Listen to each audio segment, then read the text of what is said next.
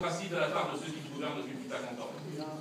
Et moi je pense aujourd'hui que ce n'est pas justement par les notables qui déjà, alors que Manuel Valls a la.